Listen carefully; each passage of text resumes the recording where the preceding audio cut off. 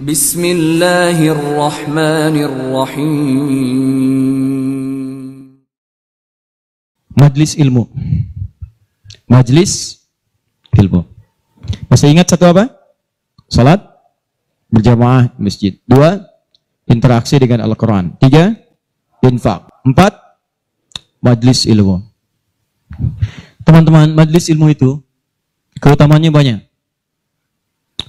Saya beri gambaran ya. Maaf ya, maaf sekali.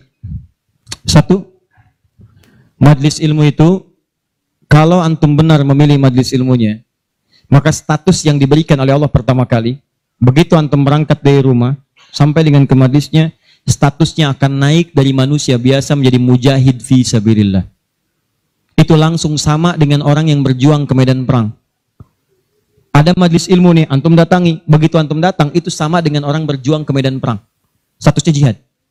Kalau meninggal antum di pertengahan, walaupun belum sampai ke situ, maka statusnya langsung syahid, pahala syahid. Pahalanya syahid. Majlis ilmu. Satu, berpeluang mendapatkan pahala senilai jihad. Kedua, kalau wafat bisa syahid. Dalilnya Quran surah ke-9 ayat 122. Paling kiri sebelah bawah di mushaf. Wa ma kana al-mu'minuna liyanfiru kaffah. Kenapa mesti semua orang beriman pergi ke medan perang semua? Saya akan turunkan satu amalan kata Allah yang kalau kamu amalkan ini maka statusnya akan sama dengan orang yang berjuang di medan perang. Sama persis. Apa itu? Falaula nafara min kulli firqatin minhum ta'ifa liyatafaqahu fid din. Kenapa tidak ada sementara orang di antara mereka mau datang ke majlis ilmu untuk mempelajari tuntunan agamanya? Waliyunziru qaumahum idza raja'u ilaihim la'allahum yahdharun. Dan dia mencatat pelajaran-pelajaran itu dan dia bawa pulang, dia sampaikan pada keluarga yang tidak belajar. Perhatikan baik-baik. Ayat ini mengatakan, kata Imam Mustafa Al-Maraghi, ayat ini mengatakan bahwa menuntut ilmu itu nilainya sama dengan jihad fi sabilillah. Artinya kalau wafat penuntut ilmu, maka status syahid. Kalau syahid, maka dosa berpeluang digugurkan, amalan naik. Itu seketika pahala bisa datang dan surga. Pernah dengar seorang yang pernah membunuh 100 orang? Begitu dia mau tobat, di mana dia diarahkan? Kata ulama pada saat itu pergi kamu ke majlis sana, ke majlis ilmu, disuruh ke majlis ilmu. Begitu dia berangkat di pertengahan jalannya, berangkat, berangkat, berangkat, meninggal di tengah jalan, meninggal. Statusnya dalam keadaan di tengah jalan ke majlis ilmu, dia bertobat kepada Allah, diterima tobatnya. Saat berangkat tuh meninggal di tengah-tengah, ada pahalanya. Apa yang terjadi? Surga. Surga, diampuni dosa, naik ke surga. Di sini turun kemuliaan yang ketiga, disebutkan di hadis Nabi, riwayat Ibnu Majah, nomor hadis 233. Ibnu Majah nomor hadis 233. Rawinya sahabat Abu Darda. Man salaka tariqan yaltamisu fihi ilma sahalallahu lahu tariqan ilal jannah. Siapa yang menyiapkan dirinya melangkah menuju majlis ilmu, maka setiap langkahnya, langkahnya, langkahnya, langkahnya akan langsung dituliskan oleh Allah yang meringankan nanti langkahnya ke surga. Di setiap langkah itu dihitung.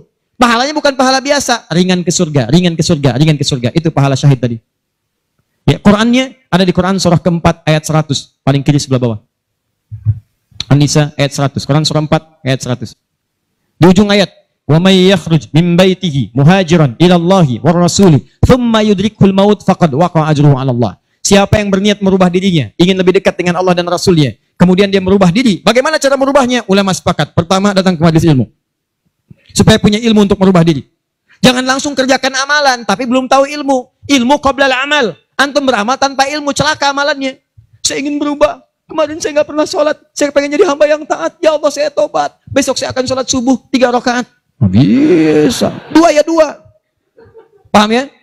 Ah, jadi ini gambarannya. Kemudian pahala yang ketiga. Cepat. Setiap dia sudah sampai ke majlis ilmu disebutkan oleh sahabat Ibnu Abbas radhiyallahu taala anhuma dinukil oleh Syekh Muhammad Hashim bin Ash'ari di kitabnya Adabul Alim wal Muta'allim bab yang pertama paragraf yang kedua paling kanan di pertengahan orang yang sudah masuk ke majlis ilmu maka pahalanya langsung dituliskan 700 kali lipat. Tanpa henti naik terus diangkat. Dan itu berlangsung sampai diamalkan. Jadi kalau ada seorang hamba cuman dia beramal tanpa ilmu dengan seorang hamba beramal dengan ilmu beda pahalanya 700 misal antum masuk ke majlis ilmu nih dapat 700 diajarkan tentang sholat bab sholat diajarkan. Kalau anda mengangkat tangan setelah menghadap kiblat hadisnya Misal disebutkan di hadis riwayat Abu Dawud nomor hadis 857 di Al Bukhari disebutkan anda saya angkat tanganmu misal sejajar dengan bahu Ucapkan Allahu Akbar. Saat diucapkan rasakan. Buang urusan semua dunia ke belakang. Buang, jangan bawa dunia. Hanya Allah yang paling akbar. Begitu antum tahu dalilnya seperti itu, caranya bagaimana, itu langsung dituliskan. Baru takbir sudah mendapatkan 700 kali lipat. Tapi kalau antum cuma sholat saja, abid, sholat, gak paham bacaan, gak paham gerakan, dituliskan cuma 10. 700 kali lipat. Ma baina darajata ini khamsumi sanatin. Di antara satu kedua 500, dua ketiga 500, tiga keempat 500 tahun majelis ilmu. Empat. Di hadis yang tadi, di Ibnu Majah nomor hadis 233 dari sahabat Abu Darda, orang yang menuntut ilmu itu teman-teman sekalian langsung ya wa innal malaikata la tadau ajnihataha ridan bi talibil ilmi, mendapatkan ridha malaikat, ridha malaikat. Mendapatkan ridha malaikat. Jadi antum jangan dikira biasa nih, dari sejak berangkat sampai ke sini itu malaikat menaungi antum membentangkan sayapnya. Cuma memang dibuat oleh Allah gaib, nggak kelihatan. Sebab kalau kelihatan nggak akan jadi datang ke sini antum. Baru keluar rumah malaikat tuh begini. Siapa? Malaikat maut. Paham ya? Baik. Nah, dari semuanya ini puncaknya teman-teman sekalian, puncaknya derajat antum akan diangkat oleh Allah. Diangkat. Dua. Satu karena ilmunya, kedua karena imannya. Dalilnya Quran surah ke-58 ayat 11. Yarfa'illahu alladhina amanu minkum walladhina utul ilma darajat. Jadi saran saya, saya dengar ini ada 46 majlis taklim berkumpul di sini. Ini anugerah. Tidak mudah mendapatkan itu. Tidak mudah. Di saran saya, setiap ada majlis ilmu, ayo datangi. Bagi waktu masa dalam sepekan gak ada untuk akhirat. Dunia aja kejar dunia. Kenapa nggak nyari akhirat? Gak banyak kok. Sabtu kalau nggak Sabtu Ahad susun nih taklim siapa? Ustadz Pulan, Syekh Pulan, Habib Pulan. Cari di mana tempatnya. Tapi ukurannya tiga kata Al-Quran. Cuma tiga ini. Kalau nggak ada yang tiga, maka lima kemuliaan ini tidak akan didapatkan. Apa yang tiga itu? Satu, sifatnya madis ilmu itu madis yang memahamkan antum dalam urusan agama. Bukan menjauhkan anda dalam urusan agama. Dalilnya Quran surah ke-9 tadi ayat 122. Lihat tafakkahu fiddin. Membuat mereka paham tentang agama. Jadi kalau ada madlis yang hanya membuat tertawa, tidak ada isinya, bahkan menjauhkan antum dari Allah, ngolok-ngolok ayat Al-Quran, ngolok-ngolok hadis dan sebagainya, maka yang seperti itu, itu bukan madlis yang dimaksudkan lewat ayat tadi. Jelas? Ya. Dua, syaratnya kata Allah, kalau antum ingin masuk madlis, statusnya di syahid, maka antum mesti berniat dengan benar saat masuk ke madlis ilmu untuk memahami itu dengan mencatatnya dan memahaminya. Jadi begitu antum paham, catat, bawa catatan itu untuk kembali sampaikan kepada orang-orang yang tidak belajar. Itu sekarang lebih mudah share di media sosial. Antum sekarang dapat satu hadis, share. Begitu di-share ada daripada share yang tidak jelas. Bikin status. Semarang mendung aja bikin status. Hari ini Semarang mendung. Emang kenapa? Apa dengan status antum akan berubah jadi cerah? Tidak ada. Sudah. Bikin yang bagus. Hadis kirimkan. Hadis Nabi SAW. Keutamaan bagi seorang pekerja Keluarkan. Di, begitu antum share ke teman-teman antum pengusaha, mereka semangat semua. Semangat. Antum jangan lupa begitu diinjakan kaki bekerja karena Allah, setiap tapak itu pahala. Kirimkan ayatnya. Kawan-kawan, Quran surah keempat, ayat 34, berita gembira untuk kita. Niatkan yuk karena Allah. Begitu di-share, mereka lihat 10 orang meniatkan karena Allah. Antum dapat bagian pahalanya tanpa dikurangi sedikit. Kirim. Jelas?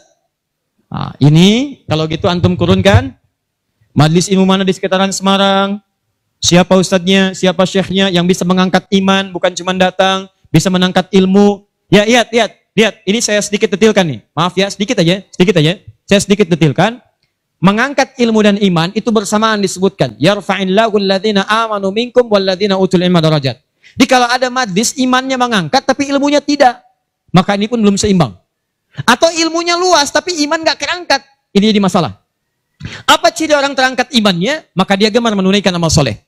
Maka jika Anda menemukan madis-madis, mendorong Anda mengerjakan amal soleh, ikuti madis itu.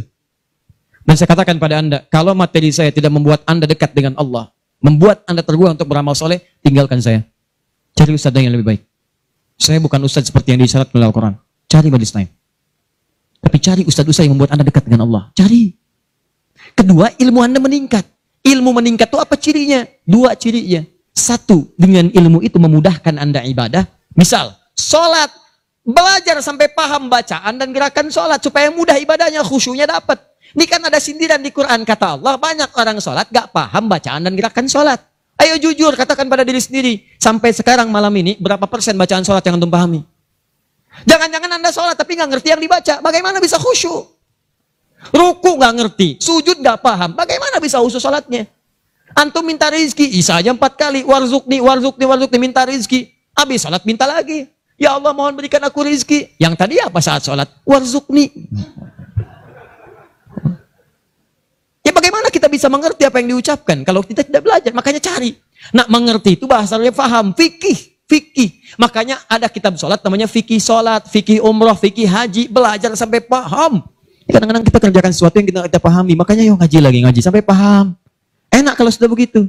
Begitu Anda memahami sesuatu, nah ilmu naik. Kalau orang paham, itu ciri yang pertama, dibawa ke ibadah mudah. Yang kedua, perluaskan wawasan. Karena dalam fikih itu, ada hal-hal tertentu yang menjadi kemudahan. Bukan harus itu saja yang dikerjakan.